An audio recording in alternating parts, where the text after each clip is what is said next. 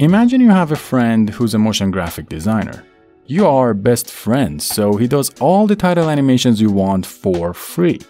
Whether you want to fade it, make it elastic, give it some glitch, or animate a whole paragraph, he would never say no to you.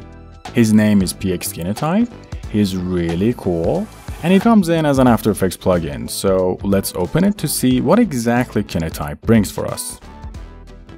Okay, here I got a very simple scene with a dumb animation, and once we download and install our friend PX Kinetype for free using the link in the description, we can open it from Window under Extensions. Then you can see different categories of text animation here. We're looking at the modern category, and actually the options are a lot. The rest of the categories are the paragraph, glitch, fade, motion, 3D, and elastic. Here I start with the motion category because of our little animation and let's see which preview aligns with it better.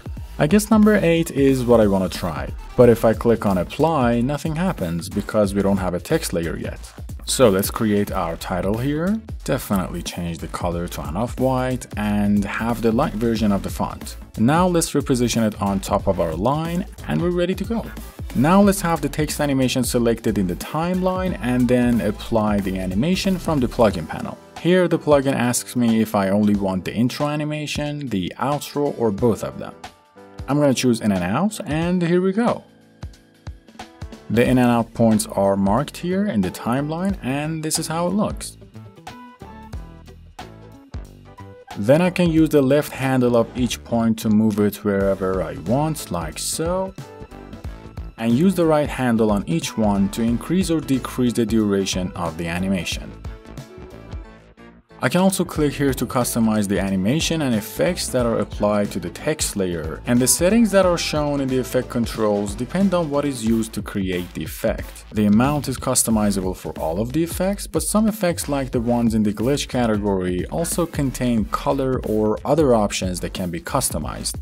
Now let's undo everything and try another category like 3D. This time I only want to apply the in point animation, and the interesting thing is that I can choose the out point animation from another category to be more refreshing. Let's see what the fade options are, and I want the text animation to end with this one.